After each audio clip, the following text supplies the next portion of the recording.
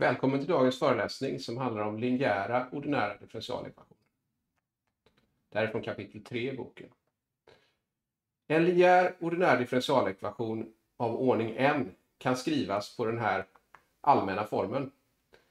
Då har vi en funktion an av x gånger u med en derivator. Så den här notationen, nu använder vi parentes där, är en derivator på u. Plus en funktion an minus 1 och så u med n minus 1 derivator plus ända ner till a0, funktionen a0 av x och så u med 0 derivator som är funktionen u självt. Det här är lika med en annan given funktion f av x. Ja, varför är då det här en linjär ordinär differentialekvation? Ja, då är det så att derivering är en linjär operation och det betyder att man tar derivatan av summan av två funktioner som är viktade med två olika konstanter här, alfa och beta. Så blir det samma sak som att flytta ut konstanten alfa, ta derivatan på f, plus flytta ut konstanten beta, ta derivatan på g. Så uppfyller man detta, då är, då är det en linjär operation. Och en derivator är linjär och en derivator är också en linjär operation. Så vi har bara linjära operationer som verkar på den här funktionen u. Och då är det en linjär ordinär differentialekvation. Det får alltså inte förekomma någon annan sorts funktion av u än u själv och derivator av u. Och därmed blir detta den allmänna formeln för en nte ordningens ordinär eh, linjär differentialekvation. Om f av x i högret här råkar vara lika med 0, då säger vi att det är en linjär homogen ordinär differentialekvation. Och lösningen till en sån kallas för en homogen lösning. Om f inte är noll så är ekvationen inhomogen. Och då kallar man lösningen för en partikulär lösning. En, en given lösning till en sån ekvation där f inte är noll. En partikulär lösning. Ja, notera här att de här funktionerna a, de får gärna bero icke-linjärt på x. Det spelar ingen roll, det är fortfarande en linjär OD. Det är bara intressant hur u kommer. Att den kommer som eh, med derivator och inte som en funktion av u här. Så det här, de här funktionerna de är godtyckliga i den meningen att de, de behöver inte vara linjära. Då har vi lite resultat här av homogenlösningar, alltså lösningar till ekvationen när f av x är lika med 0 i högerledet. Om vi har två sådana lösningar, U1 och U2, som löser den här homogena ekvationen, då är också en linjär kombination av de två lösningarna en lösning till samma ekvation. Och en linjär kombination det innebär att man tar en konstant gånger U1 plus en annan konstant gånger U2. Så vi låter nu U vara konstanten A gånger U1 plus konstanten B gånger U2. Och så sätter vi in U i ekvationen här. Och nu skriver jag det med en summa istället. Det är en summa från 0 till 1, koefficient AI av x och så u med i derivater. Ser att det stämmer här. När i är lika med 0 då får vi a0 av x och u med 0 derivator. i är lika med 1 nästa term och upp till i lika med 1 då får vi an av x och u med 1 derivator. Så vi sätter in den ekvationen och så använder vi här att derivering är en linjär operation så att man kan flytta ut konstanter utanför derivatan och att också derivatan av en summa är summan av derivaterna. Så då flyttar vi ut konstanten a här på det här sättet och flyttar ut konstanten b i den andra termen. Och så ser vi också att summan av u1 och u2 delas upp i två olika summor. Och i och med att u1 och u2 själva är homogenlösningar så är båda de här summorna lika med noll. Så därför blir också alltihopa lika med noll och u är då därmed per definition en homogen lösning till den här linjära Entoniens differentialekvation. Okej. Okay. Alla lärkombinationer är alltså lösningar oavsett vad A och B är. Så har vi en motsvarande relation för partikulärlösningar. Eh, så då säger vi att UP här är en partikulärlösning. Det är alltså en lösning till den nth ordningens linjära Odén fast med ett högerled f nu som inte är 0. Och så säger jag att UH är en homogen lösning. Så här, U löser ekvationen där högerledet är lika med 0. Då gäller det att summan av de här två, UP plus UH, och vi sätter in dem i ekvationen, UP plus UH, då ser vi att derivatan igen är linjär, så vi kan ta derivatan på alla UP först och sen plus derivator på alla UH. Och då ser vi att den första delen ger precis f av x. Alla, alla de här termerna med, med UP i sig ger f av x. Och alla termer med UH, de ger 0, så till slut får vi då bara f av x kvar. Så det innebär alltså att en partikulärlösning plus en godtycklig homogenlösning är också en partikulärlösning. Och på motsvarande sätt så gäller omvänt om U löser en homogen, eh, löser den inhomogena ekvationen. Så kan man alltid skriva U som någon partikulär lösning plus en godtycklig homogen lösning. Okej, okay, så linjära kombinationer av homogenlösningar är också homogenlösningar. En partikulär lösning plus en homogenlösning är fortfarande en partikulär lösning. Så har vi det här nästa begrepp som är oberoende lösningar. Så om vi har en stycken lösningar till en linjär nth ordningens ordinär differentialekvation. Var och en av dem uppfyller alltså den här ekvationen. Den ska också vara homogen. Så högerledet ska vara lika med noll. Då säger vi att de här lösningarna är linjärt oberoende om den här relationen för konstanter C1 upp till Cn. Om C1 U1 plus C2 U2 och så vidare upp till Cn UN. Om den är lika med 0 för alla x så måste alla konstanterna vara lika med 0. C1 upp till Cn.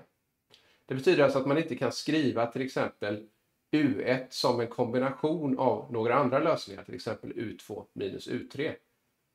Utan de är var och en oberoende lösningar som inte kan uttryckas som en linjär kombination av de övriga. Har vi en sån uppsättning lösningar med en lösningar till en n-ordning, då säger vi att de lösningarna är oberoende. En linjär homogen ordinär differentialekvation av ordningen har en oberoende lösningar. Beviset av detta kommer i kapitel 5 i boken. I det speciella fallet när n är lika med 2 och vi säger att vi har en, hittat en lösning, U1, då fås den andra oberoende lösningen, för det finns två oberoende lösningar då, om n är lika med 2, genom att ansätta U2 lika med en funktion V gånger U1. Och när man sätter in det i ekvationen så kommer man se att V löser en separabel ordinär differentialekvation. Så givet en oberoende lösning så kan man hitta den andra. Och det gäller också för högre n på liknande sätt.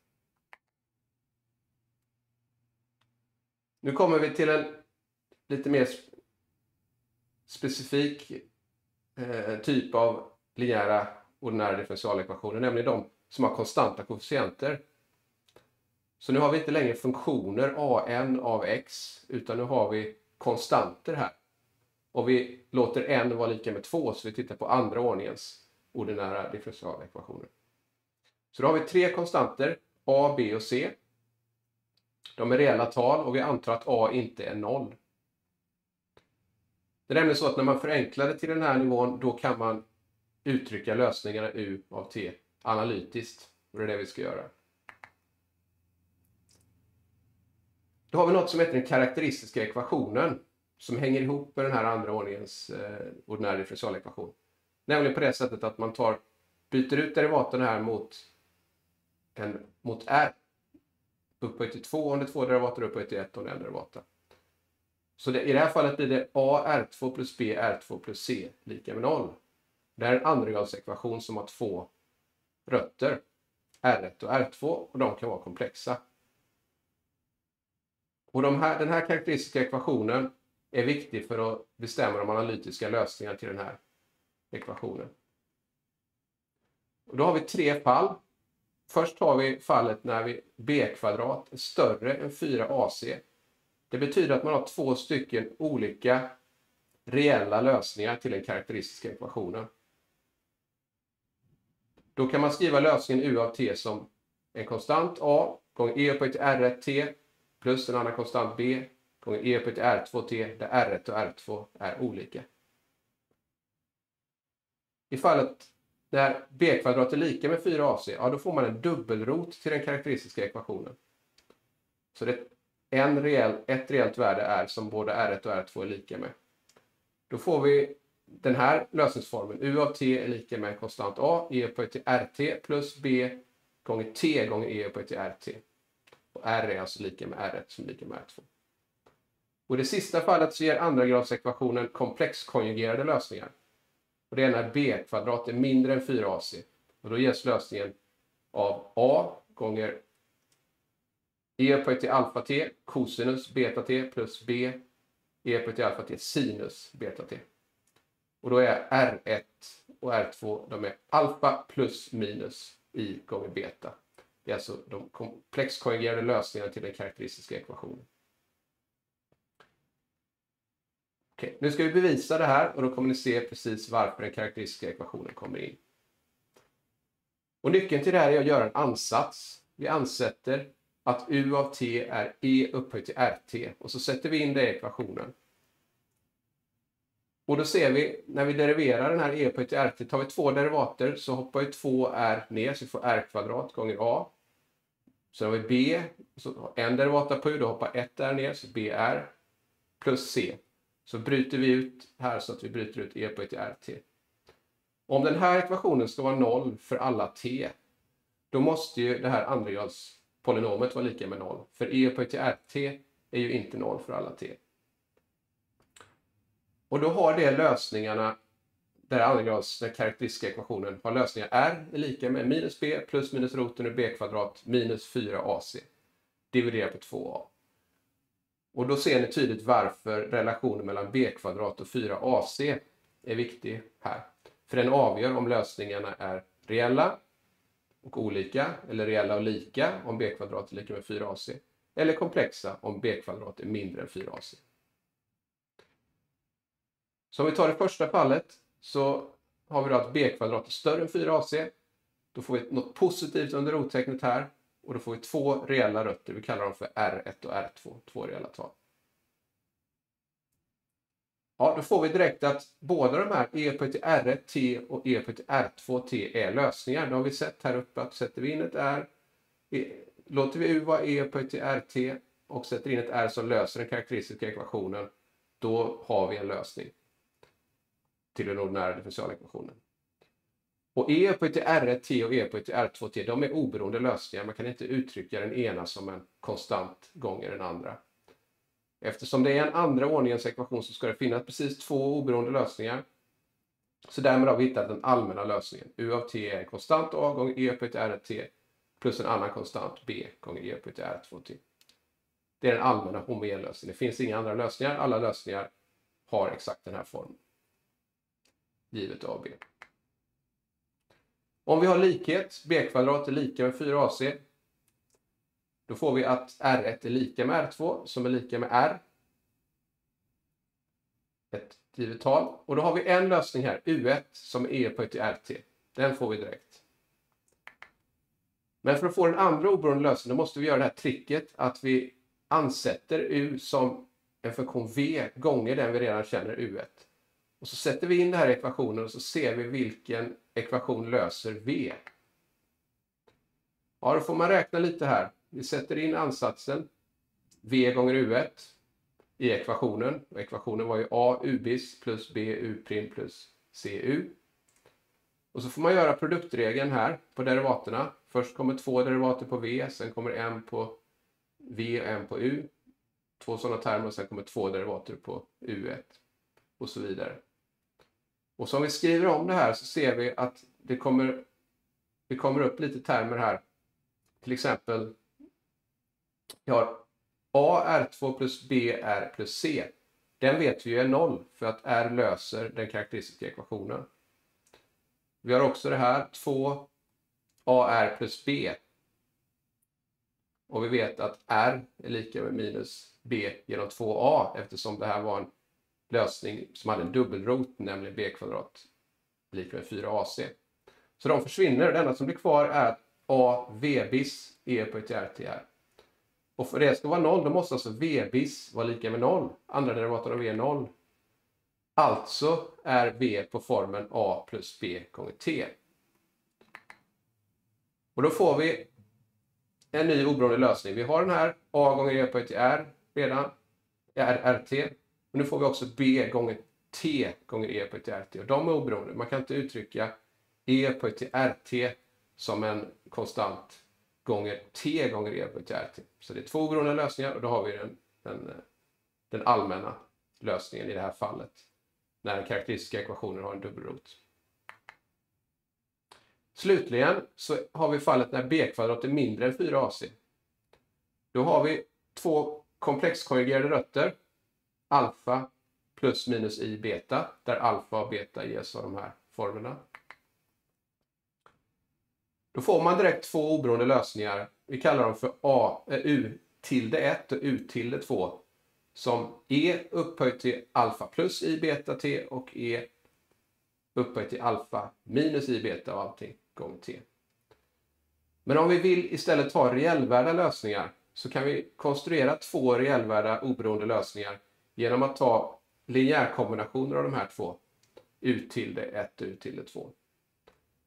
Tar vi medelvärdet av dem och låter det vara U1 då ser vi att vi får det här uttrycket E upphöjt till alfa t gånger E upphöjt till i beta t plus E upphöjt till minus i beta t genom 2.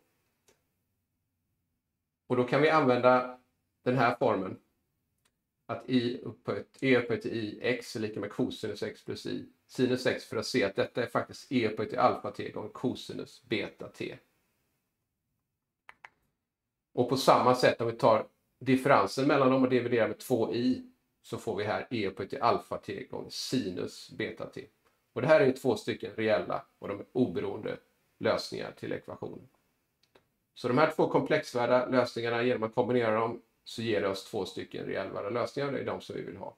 Och det är de som också står i satsen. Så den allmänna lösningen blir då A e på till alfa t cosinus beta t plus B e på till alfa t sinus beta t. Då har vi ett exempel på det här. Eh, vi vill lösa u bis plus 5 u' minus 6 är lika med 0. Det första man gör är att sätta upp den karaktäristiska ekvationen som är r kvadrat plus 5r minus 6 lika med 0. Och den kan man räkna ut har lösningar r1 lika med 1 och r2 lika med minus 6. Då får vi direkt att den allmänna homogenlösningen ges av u av t lika med a gånger e upphöjt till t plus b gånger e upphöjt till minus 6t.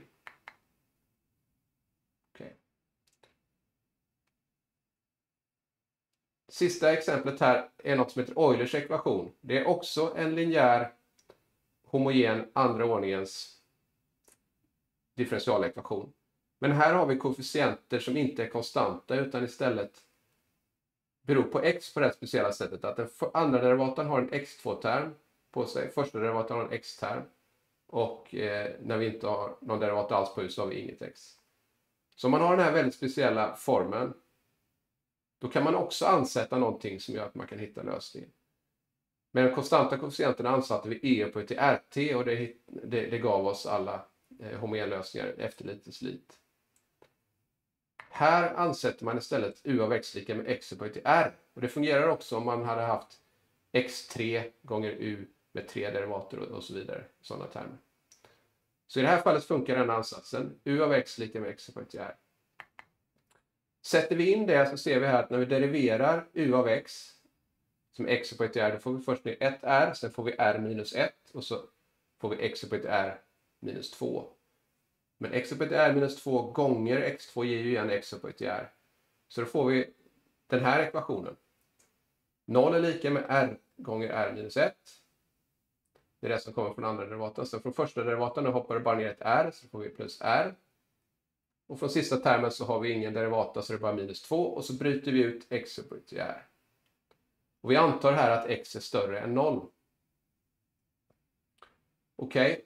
då innebär det att då måste den här karaktäristiska ekvationen som är r2 minus 2, den måste vara 0 om det här ska gälla för alla x.